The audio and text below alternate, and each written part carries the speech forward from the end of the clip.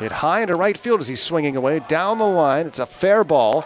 Caught by Clark. Runner tags from third. Here's the throw. And he's out at the plate. Inning over. Peyton can't believe it.